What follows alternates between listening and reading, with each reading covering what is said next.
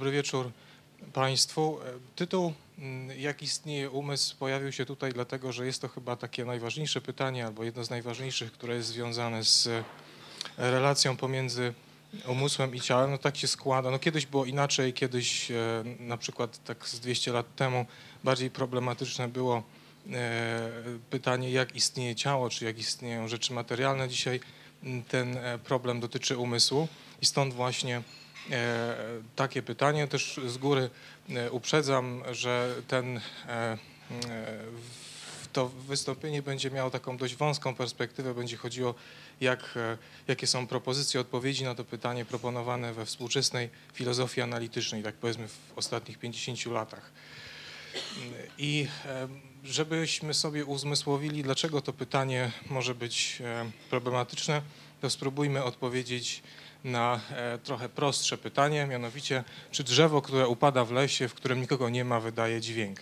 To jest taki dość znany eksperyment myślowy, który E, na którym zastanawiał się po raz pierwszy bodajże George Berkeley. E, jemu chodziło o coś innego niż nam będzie chodziło, no ale zastanówmy się, e, jak można odpowiedzieć na to pytanie i pewnie taka odpowiedź, która przychodzi do głowy mm, jako pierwsza, mówi, że no, zgodnie z nią oczywiste, że, że drzewo, które upada w lesie wydaje jakiś dźwięk, no bo e, kiedy to się dzieje, no to powstają jakieś fale akustyczne, które można zmierzyć i E, żeby, ten, żeby te fale istniały wcale nie jest konieczny e, spostrzegający je obserwator.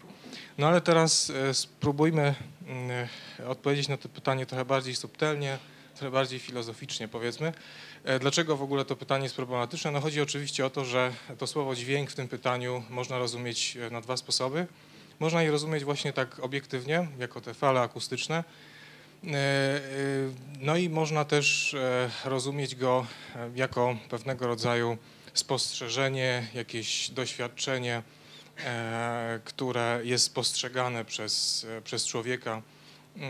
I jeśli zgodzimy się na to pierwsze znaczenie słowa dźwięk, no to wtedy mm, jak już sobie powiedzieliśmy, dźwięk drzewo, które upada, no nie robi tego w ciszy. Natomiast jeśli przyjmiemy sobie to drugie rozumienie słowa dźwięk, czyli jako jakieś subiektywne doświadczenie, e, e, trzask usłyszany przez kogoś, kto e, znajduje się w pobliżu tego drzewa, no to wtedy rzeczywiście trzeba by powiedzieć, że to drzewo upada w ciszy. I teraz, no i wydaje nam się, że sprawa jest załatwiona. Cały problem polega na tym, że ten dźwięk można rozumieć na dwa sposoby. I zastanówmy się teraz właśnie nad tymi dwoma sferami, właśnie które E, do których wpadają te dwa rozumienia e, słowa dźwięk, czyli nad tą obiektywną i subiektywną. Więc pierwsza z nich e, jest to świat, który składa się rzeczy, które są materialne, które możemy zobaczyć, które powiedzielibyśmy na przykład istnieją obiektywnie, jak stoła, krzesły, ale nie tylko, również na przykład atomy czy geny. I to można e, e, zbadać metodą naukową. E, I powiedzielibyśmy, że różne własności, które przysługują takim obiektom, przysługują im niezależnie od tego, czy ktoś je spostrzega, czy nie. Natomiast ta druga sfera, ta sfera bardziej subiektywna, no ona jest problematyczna właśnie, dlatego że no nie mamy do niej tak bezpośredniego bezpośredniego dostępu, jak do tej pierwszej, mm, e, możemy sobie wprowadzić w tym miejscu takie mm, odróżnienie na dwa typy e, własności. Własności pierwotne i wtórne. Mm, e, to odróżnienie na przykład pisał o nim Galileusz czy Locke. Ono właśnie w okresie filozofii E, nowożytnej zostało wprowadzone. E, pierwotne no to e, są te, które właśnie istnieją obiektywnie, niezależnie od obserwatora. I to jest na przykład kształt, ciężar czy lokalizacja w przestrzeni. Natomiast własności wtórne są zależne od obserwatora i wywołują w nim pewne wrażenia zmysłowe, czyli na przykład dźwięk, kolor, smak i zapach. I od, różnica pomiędzy nimi jest chyba dość intuicyjna. Znaczy wyobraźmy sobie, że, że na przykład słuchamy jakiejś naszej ulubionej piosenki i słucha ją z nami nasz kolega, który akurat bardzo nie lubi tego typu muzyki. No i inne będą nasze wrażenia słuchowe, kiedy jej słuchamy, prawda? No ale te fale dźwiękowe, które mm, docierają do naszych uszu są takie same w jednym i drugim przypadku. No, tylko po prostu e, mm, różnica dotyczy tylko i wyłącznie własności e, wtórnych. No i teraz e, zastanówmy się e, nad, tym, e, nad tymi własnościami wtórnymi, które są takie bardzo właśnie problematyczne. E, no, wydaje się, że ten problem można z łatwością rozwiązać, no bo te własności wtórne są spostrzegane przez obserwatora, czyli na przykład one by musiały istnieć chyba w jego umyśle gdzieś, prawda? A umysł na przykład jest spora szansa na to, że w znacznej mierze przynajmniej byłby zlokalizowany gdzieś w mózgu tego obserwatora, czyli na przykład spróbujmy e, zajrzeć e, do jego mózgu i może w ten sposób spróbujemy ustalić tak obiektywnie, bez pytania tego kogoś, jakie są jego wrażenia zmysłowe, jakie on te wrażenia ma. E, no i to też nam nie pomoże. Nawet gdybyśmy mieli takie, przynajmniej dzisiaj nie sposób sobie wyobrazić, żebyśmy mogli nawet mieć do dyspozycji takie narzędzia, żeby w, ten, w taki sposób wniknąć do umysłu poprzez mózg czyjejś osoby, żeby odpowiedzieć, e, no właśnie na przykład jakie wrażenia dźwiękowe czy smakowe ona odczuwa, e, kiedy czegoś słucha albo coś zjada. To jest taki eksperyment, kolejny eksperyment myślowy, który do, dość dobrze unaocznia, o co tutaj idzie do e, młyn Leibnica. E, Leibniz e, każe nam wyobrazić sobie taką maszynę, która potrafi odczuwać, która potrafi, która ma jakieś wrażenia mm, zmysłowe mm, i ona jest na tyle duża, że możemy tam wejść do środka. I teraz nawet jak wejdziemy tam do środka i będziemy się patrzeć na te przekładnie, inne mechanizmy, które tam działają, nie będziemy w stanie dostrzec, jakie wrażenia ma ta maszyna. Jedyne, co będziemy widzieć, to tylko i wyłącznie wrażenia, e, to tylko własności pierwotne, tak jak na przykład kształt, umiejscowienie w przestrzeni, czy wielkość tych, tych e, części tej maszyny. E, czyli no, w ten sposób, czyli zaglądając na przykład do mózgu czyjejś osoby, no, wydaje się, nie możemy tych własności wtórnych odnaleźć, powiedzieć coś o nich, no i teraz w związku z tym, że one są takie trudne do wyjaśnienia, wydają się całkiem inne od własności pierwotnych, tych, które istnieją obiektywnie, to no, w okresie Leibnica e, i trochę wcześniej wielu filozofów uznało, że e, no, one istnieją, w, one są postrzegane przez umysł, który w, związku z tym, który w związku z tym musi mieć taką naturę całkiem inną od e, rzeczy, które istnieją w tym świecie obiektywnym. Czyli umysł jest jakąś zupełnie inną rzeczą, zupełnie, innym zupełnie inną kategorią rzeczy od mózgu czy od ciała. No to pewnie znamy z e, na przykład e, poglądu nazywanego dualizmem kartezjańskim, bo właśnie Kartezjusz tak bardzo podkreślał tą e, różnicę pomiędzy umysłem a ciałem, chociaż rozważania dotyczące pytania, czy jak istnieje umysł, były obecne znacznie wcześniej, na przykład już u Platona w dialogu Fedon można znaleźć takie e, rozważania dotyczące tego, jaka jest natura duszy. No dzisiaj właśnie przekłada się na to pytanie, jaka jest natura umysłu. E, I mm, e, stąd właśnie bierze się ten, można powiedzieć, problem z wyjaśnieniem pytania, z odpowiedzią na pytanie, jak istnieje umysł. No bo on działa, postrzega w całkiem inny sposób niż E, zdaniem wielu e, funkcjonuje w całkiem inny sposób niż wszystkie inne rzeczy, z którymi ma do czynienia nauka, filozofia. I teraz e, taki konflikt, który tutaj możemy zaobserwować, to jest konflikt pomiędzy dwoma obrazami świata. Z jednej strony mamy potoczny obraz świata, czyli nazywany po prostu często w kontekście umysłu psychologią potoczną i z drugiej strony mamy naukowy obraz świata, taka, taka nauka, która zajmuje się wyjaśnieniem umysłu, e, no to jest kognitywistyka, chociaż nie tylko, ale weźmy sobie ją tutaj jako e, przykład.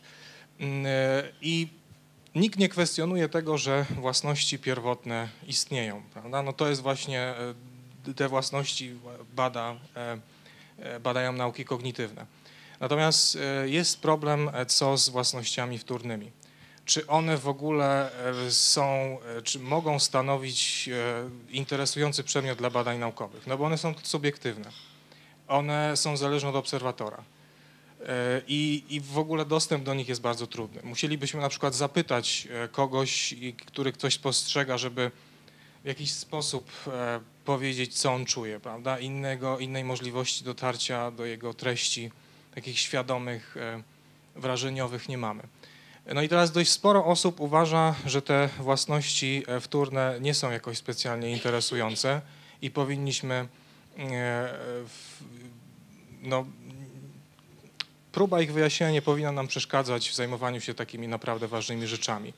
Ci ludzie uważają, że gdy idzie o wyjaśnienie umysłu, czy, czy odpowiedź na pytanie, jak istnieje umysł, to w gruncie rzeczy wystarczy nam nauka, nie potrzeba nam filozofii, no bo e, interesują nas tylko pewne obiektywne, mierzalne cechy czy własności tego umysłu, prawda? Natomiast jeśli ktoś twierdzi, że w tym obrazie, e, w tej odpowiedzi, jak istnieje umysł, musimy uwzględnić też perspektywę e, taką subiektywną człowieka, prawda? To nie chodzi tylko o jego wrażenia zmysłowe, ale też e, jak będziemy jeszcze mówili na przykład o jakiś kontekst kulturowy, w którym on żyje, jego język i tak dalej, no to e, musimy mm, myśleć o tym umyśleniu co szerzej i te wrażenia subiektywne też, e, te własności wtórne, przepraszam, czyli między innymi wrażenia subiektywne też powinniśmy uwzględnić. No i mm, problem z psychologią potoczną polega na tym, że jest to nic innego jak po prostu tylko i wyłącznie zdroworozsądkowe czy intuicyjnie rozumienie tego, jak działa umysł. I teraz biorąc pod uwagę to, e, jak, z jaką łatwością nauka do tej pory rozprawiała się z różnymi zdroworozsądkowymi teoriami, na przykład prawda, z fizyką intuicyjną, w gruncie rzeczy intuicyjnie, jak wiemy, gdy idzie o te najbardziej zaawansowane e, teorie fizyczne, nic nie możemy powiedzieć, prawda? To jest bardzo trudne, przynajmniej intuicyjnie właśnie, do, e, do pojęcia. Nasza intuicja, nasz zdrowy rozsądek zupełnie zawodzi. Więc czy przypadkiem wiele osób pyta, nie powinniśmy tego również, nie powinniśmy też tak myśleć o psychologii potocznej, że jest to po prostu zbiór jakichś takich komunałów, banałów, które tak naprawdę nie mają żadnego odzwierciedlenia w rzeczywistości. E, jeśli e, no nie zgodzimy się z tym, z tym twierdzeniem, no to rzeczywiście powstaje dla nas ten problem, jak istnieje umysł.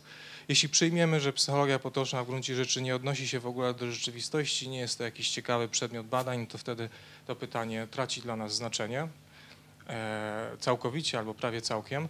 No i mm, ten problem Kartezjusza, e, problem dualizmu tych dwóch odrębnych substancji bierze się właśnie z tego, że e, zdaniem wielu, przynajmniej psychologia potoczna, to nasze zdroworozsądkowe rozumienie umysłu zakłada dualizm. Zakłada, że mamy ciało i umysł i one są od siebie odrębne i no, działają w całkiem inny sposób. E, dzisiaj e, mamy trochę lepsze narzędzia, żeby odpowiedzieć na to pytanie, to znaczy, czy ona rzeczywiście zakłada dualizm psychofizyczny, czy nie. No idzie na przykład czasy Kartezjusza czy Leibniza, no to oni odwoływali się do swoich własnych intuicji. Dzisiaj na przykład bada się ankietowo E, czy e, ludzie rzeczywiście mają takie intuicje i e, no, są kontrowersje, niektórzy uważają, że wcale tego dualizmu nie zakłada, ale wydaje się, że no, jest dość sporo badań, które pokazują, że, że ten dualizm jest dość wyraźny, prawda? I jeśli chcemy mm, w, odpowiedzieć na, na, pytanie, czym istnieje umysł, no to właśnie musimy wziąć wtedy też również taką naszą zdroworozsądkową, intuicyjną mm, intuicyjny pogląd na umysł w tym wyjaśnieniu naukowym, dlatego że no właśnie na tym zdroworozsądkowym, intuicyjnym poglądzie na naturę umysłu opartych jest całe mnóstwo różnych kolejnych praktyk naszych, takich, które rzeczywiście są dla nas bardzo ważne, o których jeszcze za chwilę będziemy mówili. Teraz jeszcze tylko tak, żeby e, to pokazać może wyraźniej, taki e, schemat, jak e, działa umysł, taki bardzo uproszczony schemat w tym paradygmacie kartezjańskim, więc mamy jakieś zdarzenie czysto materialne, czyli na przykład gdzieś tam na drodze, którą idziemy, leży sobie wąż i my go w pewnym momencie spostrzegamy i on nas wywołuje emocje strachu. I tutaj widzimy chmurkę, to znaczy, że to jest właśnie coś, co dzieje się w umyśle to dzieje się w jakimś świecie, który jest właśnie niematerialny. E, ta chmurka oddziałuje na kolejną myśl czy chęć e, ucieczki. E, to również dzieje się w, w tym dziwnym, niematerialnym, subiektywnym świecie.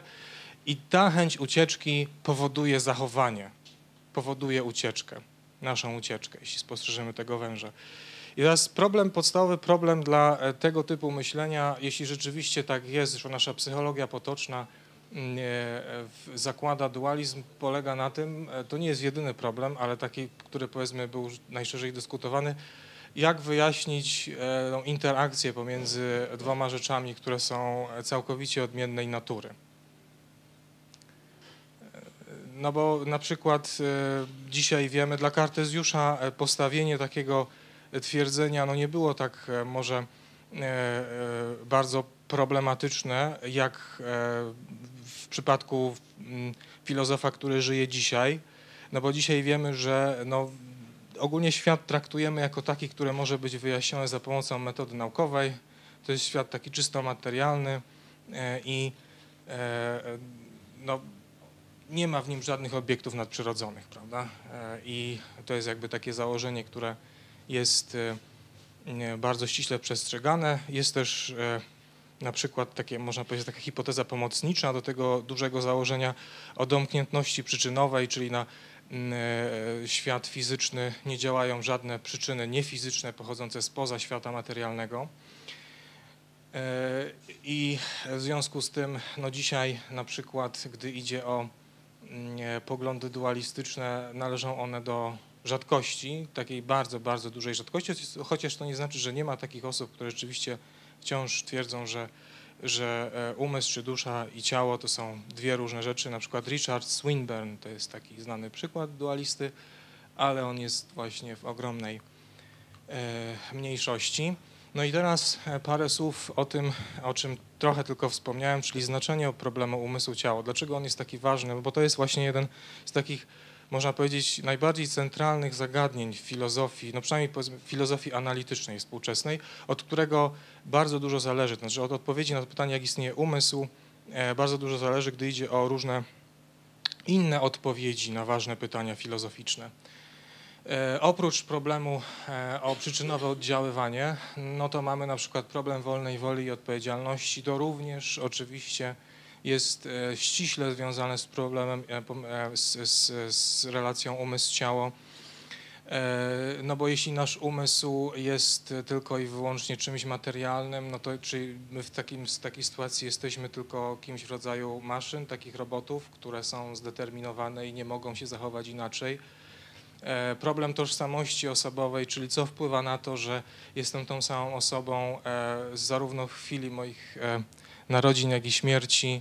E, najprawdopodobniej nie jest to ciało, no bo ono się wyraźnie zmienia, komórki się w nim wymieniają. Być może jest to umysł, prawda? No ale umysł też jest tylko materialny. No i co dalej, prawda? E, inne pytania e, dotyczące znaczenia problemu z ciało, no to na przykład status introspekcji, czyli czy są takie wrażenia, do których mamy taki uprzywilejowany pierwszoosobowy dostęp, które E, o których nie możemy nic powiedzieć, e, czyli nie możemy po prostu e, opisać ich językowo. Też problem jakości doświadczeń zmysłowych, czyli słynnych kwaliów i problem dostępu do cudzych stanów psychicznych, czyli ten już wskazany problem, że no nie mamy bezpośredniego wglądu w umysły innych ludzi. Gdybyśmy mieli problemu umysłu-ciało, by nie było. I teraz, e, czyli problem umysł-ciało, on bardzo często e, jest e, właśnie tak powiedzmy naładowany różnymi innymi treściami. Od rozstrzygnięcia tego problemu bardzo dużo zależy. Bardzo dobrze uchwycił, opisał ten, tą istotę, można powiedzieć to, co dzieje się w dyskusji dotyczącej problemu z ciało e, Kazimierz Ajdukiewicz, e, mianowicie e, no on stwierdził wyraźnie, że no zwykle bardzo dużą rolę odgrywają emocje, no bo nie powiedziałem, a to w jakiś sposób też można powiedzieć, można wyprowadzić z tego, co już się pojawiło. Problem z ciała oczywiście też jest związany z naszymi przekonaniami religijnymi, moralnymi, o tym, co jest dobre czy złe, prawda? I też idzie tutaj o godność prawda, człowieka, czy my mamy coś, co nas odróżnia od innych zwierząt, czy nie.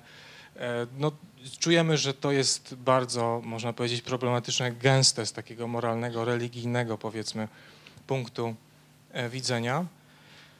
No i teraz e, przejdźmy do tego, jakie były propozycje odpowiedzi na pytanie, jak istnieje umysł, które pojawiły się właśnie w tej wspomnianej współczesnej filozofii analitycznej. To będzie tylko taki, można powiedzieć, niewielki wybór, ale mam nadzieję, że, e, że ważne rzeczy dla tego właśnie sposobu myślenia o, o naturze umysłu powiem. I teraz e, taka pierwsza teoria na naturę umysłu, która została zaproponowana e, w latach, e, jak widzimy, 50. XX e, wieku, to teoria identyczności. Ona była zaproponowana, to ciekawe, przez właściwie dwóch filozofów, niezależnie od siebie, Herberta Feigla i J.J.C. Smarta, którzy stwierdzili w taki dość zdecydowany sposób, że umysł to jest po prostu mózg. Możemy utożsamić umysł z mózgiem, a, a właściwie mówiąc bardziej szczegółowo, konkretne typy stanów umysłowych, typy myśli, wrażeń, uczuć, emocji możemy utożsamić, tak dosłownie, zidentyfikować z pewnymi typami e, zdarzeń w mózgu człowieka. I teraz jak oni, dlaczego oni mogli tak e, powiedzieć? E, no bo może właśnie e, niektórzy wiedzą, że to jest takie, e, że, że, taki pogląd ma dość krótkie nogi. Mianowicie, no to był taki czas, kiedy miano takie bardzo pozytywne mniemanie o możliwościach nauki.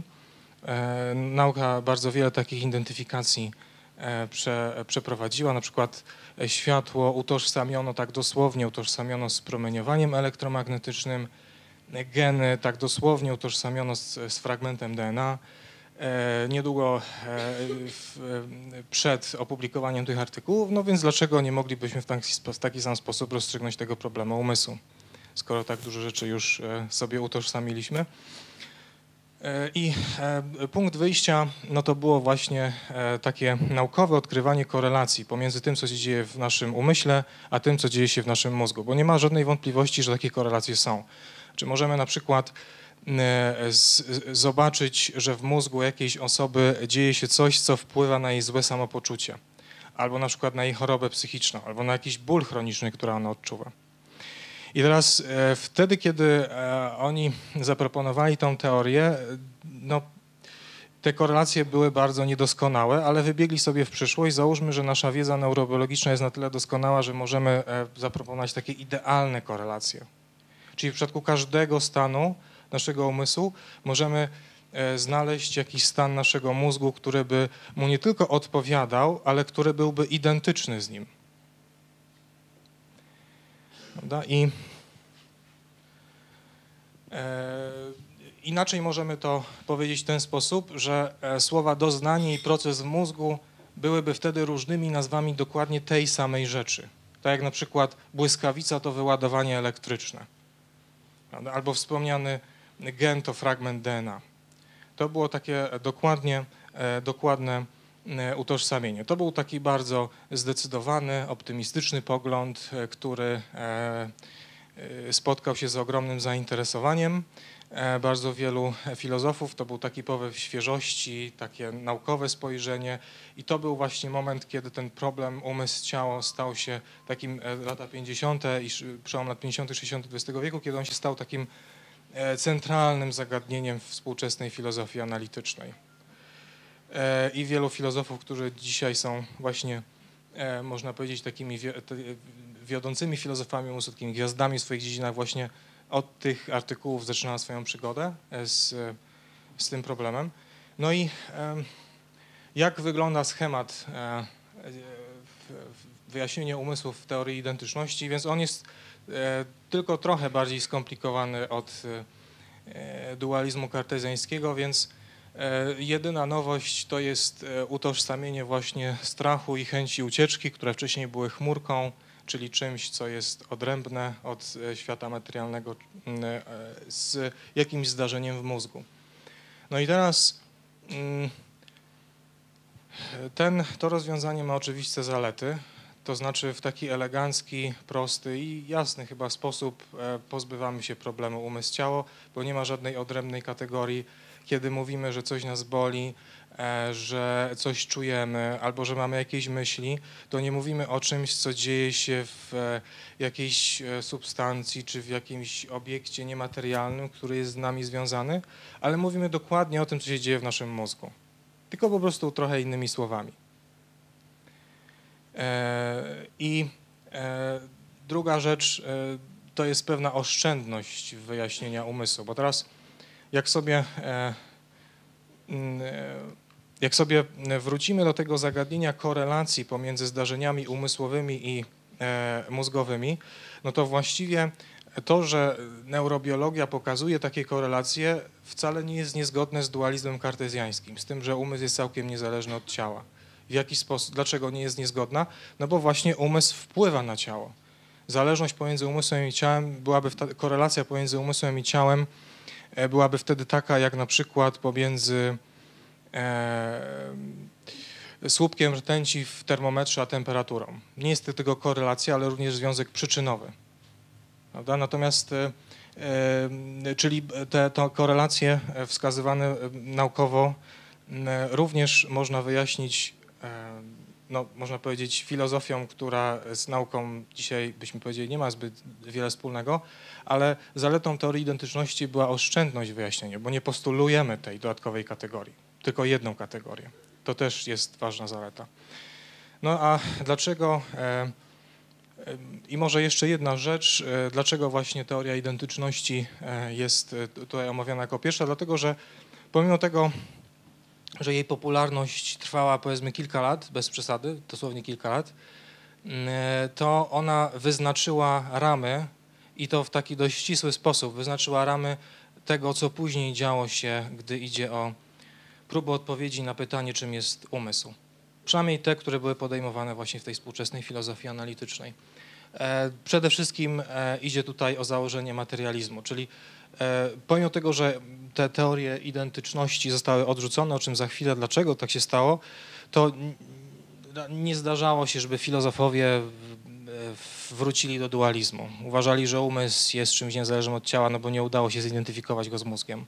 Nie, uważano po prostu, że zostajemy na gruncie materializmu, czyli nie istnieją jakieś nadprzyrodzone rzeczy odrębne od ciała, tylko no po prostu musimy ten umysł wyjaśnić w jakiś inny, no bardziej subtelny, skomplikowany sposób. Nie ma prostych identyczności. Teraz było wiele argumentów przeciwko e, teorii identyczności, e, ale takie dwa zarzuty, takie dwa główne zarzuty, które spowodowały no właśnie jej, jej upadek i to, że no dzisiaj ma wartość tylko historyczną, to jest argument z wielorakiej realizacji Hilarego Patnama i argument z anomalności umysłu Donalda Davidsona. Dlaczego właśnie te argumenty? Dlatego, że te argumenty oprócz tego, że krytykowały teorię identyczności, to zawierały w sobie zalążek nowych, lepszych, dużo lepszych teorii dotyczących umysłu. I w gruncie rzeczy e, te, te można powiedzieć, te, te, te nasiona, e, które oni zasadzili, e, no dzisiaj, do dzisiaj kwitną. Do dzisiaj te E, to, co, to jak właśnie Patnam i Davidson i wielu innych, ale oni powiedzmy jako pierwsi, czy jedni z pierwszych to zauważyli, do dzisiaj w ten sposób myśli się o umyśle. Czyli najpierw argument z wielorakiej realizacji. Więc on brzmi tak, on wyraża taką myśl, że przecież umysły takie same jak nasze mogą posiadać jakieś inne formy życia niż człowiek.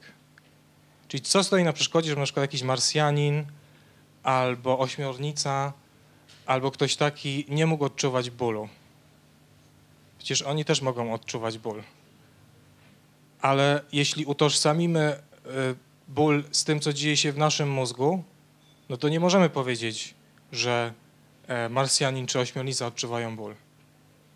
No bo ból jest możliwy do odczuwania tylko dla ludzi, bo tylko oni mają, mają mózgi tego rodzaju. E, I no to jest trochę argument z science fiction, prawda, e, gdy idzie o Marsjan, chociaż i takie się pojawiały, prawda, wtedy w dyskusji, ale główny e, motyw, e, e, główny powód, dlaczego ten argument z wielorakiej realizacji był tak popularny, polegał na tym, że to właśnie był okres lata 70., przełom lat 60., 70. XX wieku, kiedy wyjątkową popularnością zaczęły się cieszyć komputery. I bardzo wiele rzeczy, do bardzo wielu rzeczy stosowano takie metafory, analogie komputerowe, no i również zastosowano taką metaforę, gdy idzie o umysł, czyli stwierdzono, że mm, e, umysł można porównać do e, programu, a mózg e, do sprzętu, mm, który, na którym zainstalowane jest to oprogramowanie, czyli umysł. Prawda? I teraz bardzo różnie można tą metaforę rozumieć. No wiemy skądinąd, prawda, że bardzo e, różne rodzaje sprzętu mogą dokonywać tych samych obliczeń, mogą realizować te same programy. Więc dlaczego tak samo nie mogłoby być z umysłem człowieka? Że na przykład mogłaby było, my go, by go posiadać odpowiednio zaawansowana maszyna.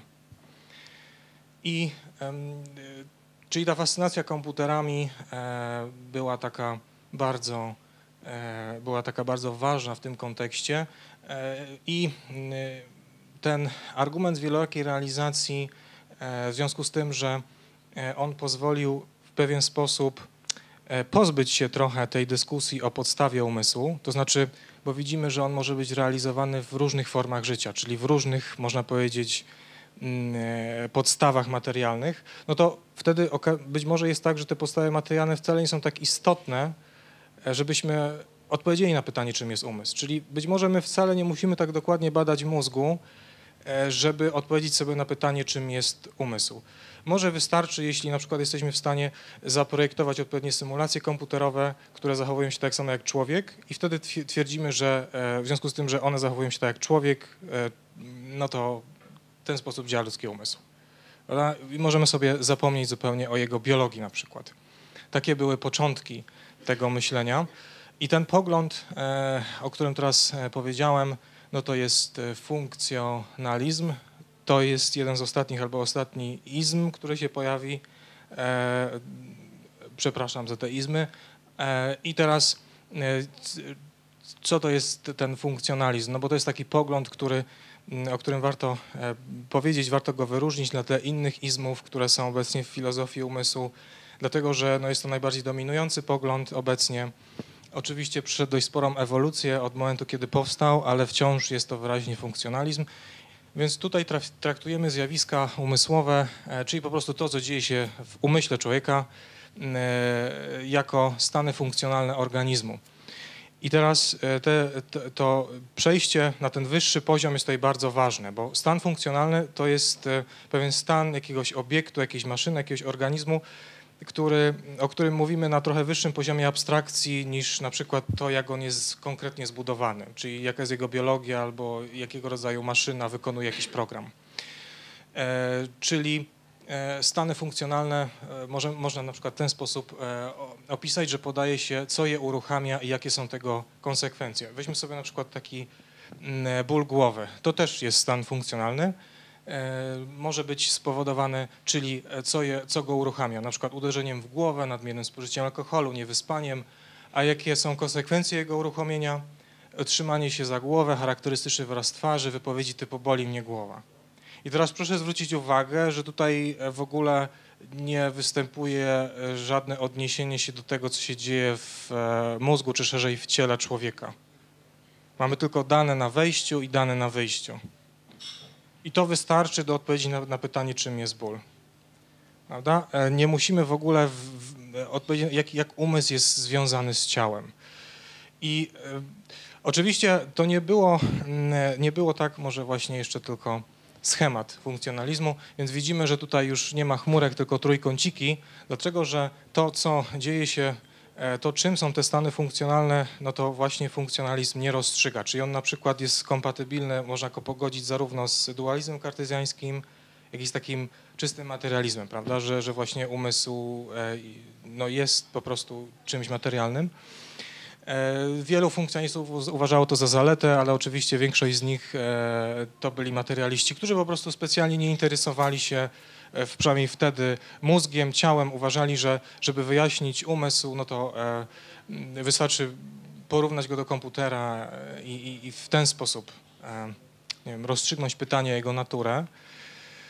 Mm, I e, ten funkcjonalizm, e, on był, no można powiedzieć, niejako jak znalazł, pojawił się jak znalazł w tym momencie historii, to były właśnie lata 60., 70., bo wtedy właśnie powstają nauki kognitywne, które e, no niejako ze swojej istoty zakładają, że umysł jest realizowany na wielu różnych poziomach. W szczegół, no na pewno przynajmniej dwa są to poziomy, jest poziom biologiczny i psychologiczny. I ten poziom psychologiczny jest w pewnym stopniu autonomiczny względem biologicznego. Nie da się go zredukować do biologii. I e, ten funkcjonalizm dawał właśnie taką pełnoprawność naukom kognitywnych, on dał im zarówno metodologię, jak i filozofię e, i no tak jak mówiłem, to jest dzisiaj taki główny pogląd na, e, na to, czym jest umysł. W ten sposób najczęściej odpowiada się na pytanie, jak istnieje umysł. I teraz mm, jest jeszcze ten drugi wspomniany argument z anomalności umysłu, e, już na sam koniec. Mianowicie e, Donald Davidson e, stwierdził, że mm, no, jeśli chcemy wyjaśnić umysł, to to wyjaśnienie będzie całkiem inne, tak kategorialnie, jakościowo inne od wyjaśnienia naukowego. Dlatego, że jeśli chcemy wyjaśnić umysł, to musimy się odwołać do reguł. To wyjaśnienie jest normatywne. Czyli jeśli chcemy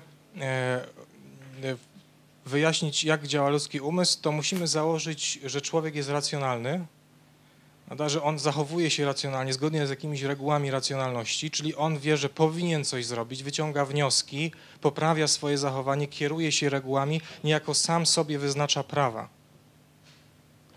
A coś takiego jest e, no, bardzo różne od takich typowych zjawisk, które są wyjaśnione, naukowo. W wyjaśnieniu naukowym E, raczej e, to ten problem normatywności nie występuje albo występuje w takim całkiem innym, innym sensie. No Davidson na tej podstawie stwierdził, że mm, nie może istnieć taka prawdziwa nauka umysłu. Że po prostu psychologia, nasz umysł nie jest, to było takie ciekawe posunięcie z jego strony, mianowicie on nie twierdził, że to jest coś innego E, niż, e, niż rzecz materialna, że umysł, tak jak na przykład to Kartierz mówił, jest, jest czymś nierozciągłym, dajmy na to. E, on mianowicie utożsamił każdą konkretną myśl z jakimś konkretnym wydarzeniem w mózgu, ale to było tylko utożsamienie konkretnych myśli i konkretnych stanów mózgu. To nie było utożsamienie typów myśli i typów mózgu. E, bo gdyby tak utożsamił, no to wtedy można by budować prawa psychofizyczne, tak jakby to chcieli zwolennicy teorii identyczności. A u, Davidsona było takie bardzo małe utożsamienie, wiecie, każda myśl to jest konkretne zdarzenie w mózgu, ale nie da się na tej podstawie wyciągać żadnych praw, bo to są tylko konkretne zdarzenia. Nie da się nic ogólnego powiedzieć o tym. E, I teraz, czyli można powiedzieć, że, że Davidson taką miał bardzo ciekawą, e, ciekawe rozwiązanie. Z jednej strony no, jest to materializm, no bo jest e, e, założenie, że, że umysł to nie jest właśnie coś innego niż ciało, ale z drugiej strony nie da się go wyjaśnić e, naukowo. I teraz podsumowując, gdy idzie o problem umysł-ciało obecnie, no to możemy zauważyć, że w tych poszukiwaniach odpowiedzi na pytanie, jak istnieje umysł, mamy takie dwa cele, które przyświecają obecnie filozofom. Cel pierwszy polega na tym, żeby znaleźć miejsce dla umysłu w świecie, w którym nie istnieją jakieś żadne zjawiska nadprzyrodzone. Oczywiście za wyjątkiem e, niektórych filozofów, jak wspomniałem, ale powiedzmy to jest e, taki główny nurm, taki mainstream. E, no a druga, drugi cel to właśnie to uwzględnienie odmienności umysłu porównaniu z innymi zjawiskami badanymi naukowo. Teraz widzimy, że w tych dwóch argumentach przeciwko teorii identyczności ta odmienność była uwzględniona. Funkcjonalizm na przykład w ogóle e, na początku przynajmniej stronił od jakichkolwiek utożsamień umysłu z ciałem, to w ogóle nie było mu potrzebne. Obecnie to się trochę zmienia, e, no właśnie między innymi dlatego, że coraz więcej osób słusznie dostrzega, że nie da się e, ciekawej teorii umysłu odpowiedzieć na pytanie, jak istnieje umysł, nie uwzględniając na przykład, że on jest realizowany w mózgu. No ale to jest jakby coś, co e, dopiero od niedawna jest, jest dyskutowane. I mm, e, druga rzecz, ta odmienność dotyczy tej e, zjawiska normatywności. To znaczy wiele osób dostrzega, że jak chcemy wyjaśnić umysł, no to musimy się odwołać do reguł, że jest coś normatywnego związanego z umysłem. I e, to też jest takie trudne do utożsamienia, do, do uwzględnienia w wyjaśnieniu naukowym, no bo e, e, nauka bada pewne fakty, prawda, a nie jakieś zjawiska normatywne. E, to by było na tyle. Dziękuję Państwu za uwagę.